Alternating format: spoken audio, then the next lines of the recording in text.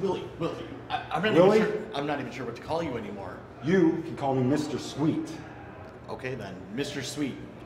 We haven't seen you in months, and you come out and you attack Jay Fowler after his matchup. It's been months and months because I had to take a deep look, look in the mirror, and figure out if the Candyman, if he was good for business. And after a long look, I figured out that the, the paint and the candy was no longer needed. It was all bull. And now we're strictly business. So what can we expect from you here over the, the next few months here at Magnum Pro? Well, you got Mr. Fowler out there shaking his ass. Can I say ass?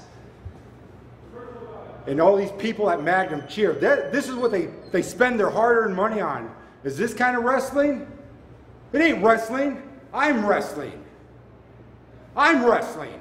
Mr. Shiny Heiny, Mr. Buns of Steel. He wants to keep wrestling fun. Is wrestling fun? Do you want to have some fun? Do you want to get in the ring? Do you want to have fun? No, no, no, I don't. Let's see how, how much fun we can have, huh? I don't. I'm. I'm just. Are we asking done here? I think we're done here. Yeah, I think we We're- are. We're done here.